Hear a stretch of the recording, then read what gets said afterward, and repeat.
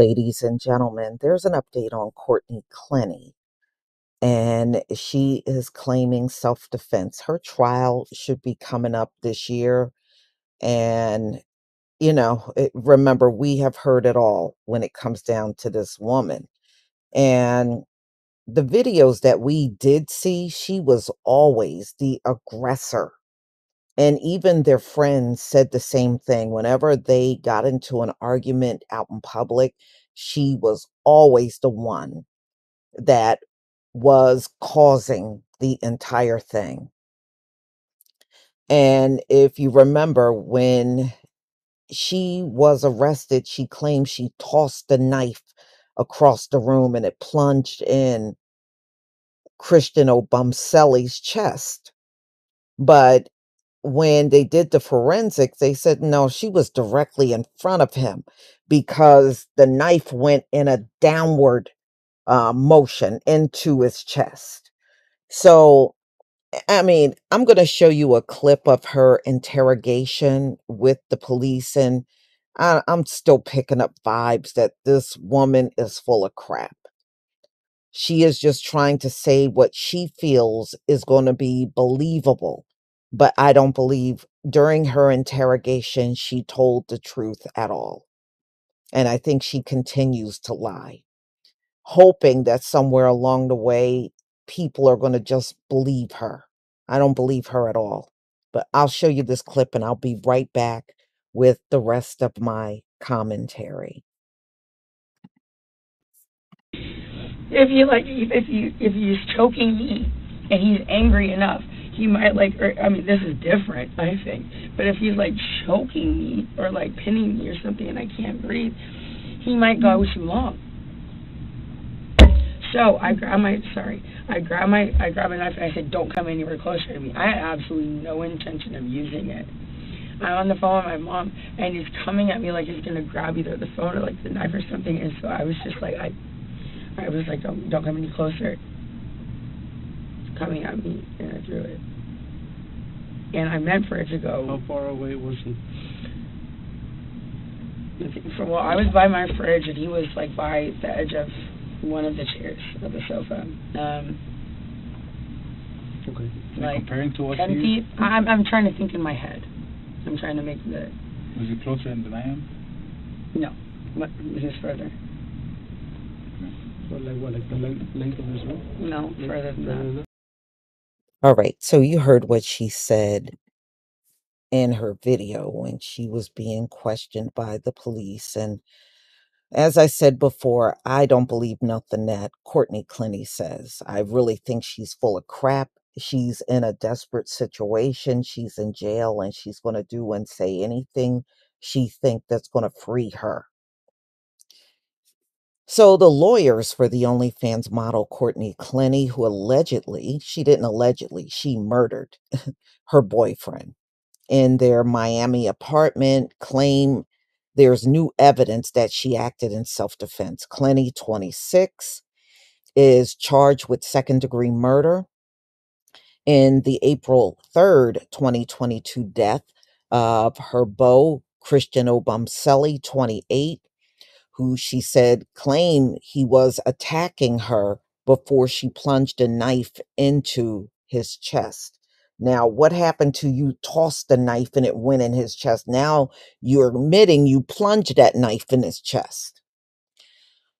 Okay, so her attorneys they said there are new evidence in the trial that's going to prove that she was a victim of abuse and acted in self-defense. Now, eh, some of y'all might remember in previous videos I had spoke about they got into an altercation in Las Vegas and she got arrested back in 2021. So I mean these two it, I, talk about a toxic relationship. This is a real, true toxic relationship. And if Christian Obumseli had even a fraction of sense, he would have got out of this long before she would have had the opportunity to even murder him.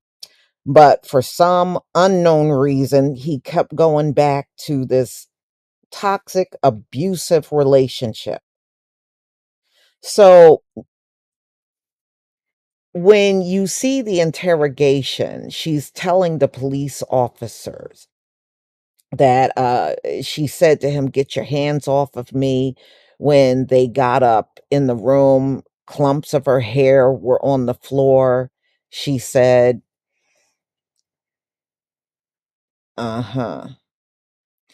And those are extensions that she got on. That, that's not that's not her hair. But you know, they always talk about black women and, and stuff like that, but they never say anything about the women like Courtney Clenney that do this notoriously. In fact, they are the ones that started the trend.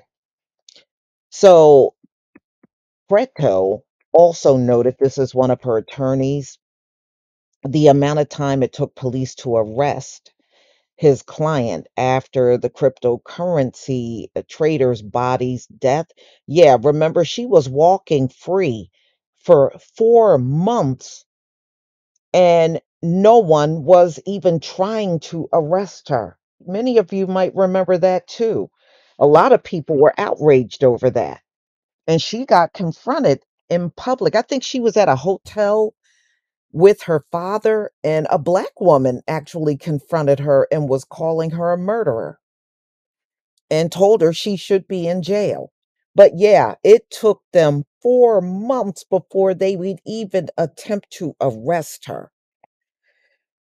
So the footage was taken from the couple's condo, and we saw that elevator dispute. She was definitely hitting and pounding on him as the aggressor. And we saw that video. That video went viral all over social media when she was doing that. So, what the media has portrayed as a snapshot in time. So, the lawyers are trying to say everybody's got the wrong conception about her,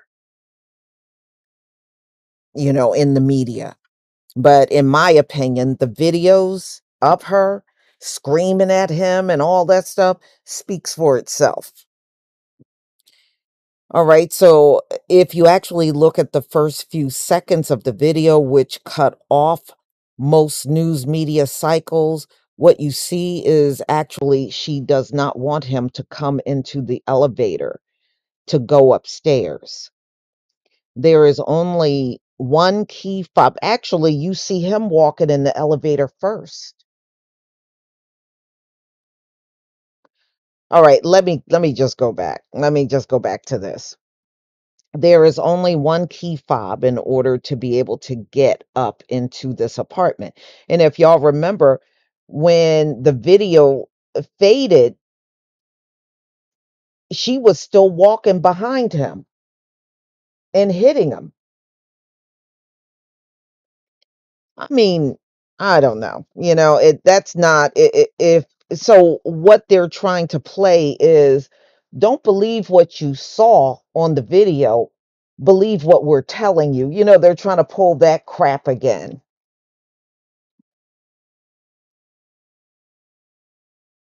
Man, I showed so many videos of the blood on the floor and everything. So it just goes into her um OnlyFans and what she made on social media. She made over three million dollars. Um back in 2020, she had 2 million followers on Instagram. So it just goes over stuff like that. So um when detectives told her that Christian Obumseli did not make it, she broke down and cried. I remember watching that video. In fact, I showed that video. So her lawyers have pointed out that she had asked for a restraining order against Obumseli days before the fatal fight.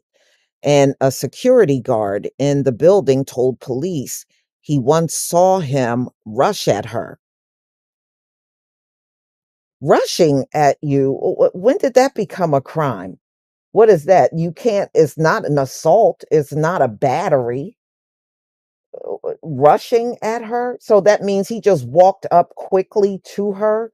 That's not a crime. Y'all crack me up. Y'all be trying to make crimes, everything a crime when it's a black man. Uh, That's what y'all do. So anyway, last week, Obumseli cousin and legal team told reporters that there were six calls related to disturbances involving the couple between January and March of 2022. And the thing is, um, the neighbors were complaining about their fights. They had so many fights, the people that live all around them were complaining. Yeah, you can imagine how loud that was because you you can hear how loud she was on the videos. Okay, so uh people called 911 to report violence and threats according to the lawyers who claim Clenney was the one at fault. This is the family's attorney saying this. So if y'all remember, she tried to get out on bail and she was refused. The judge said, uh uh-uh, uh, you are not getting out. You know, and plus she's a flight risk.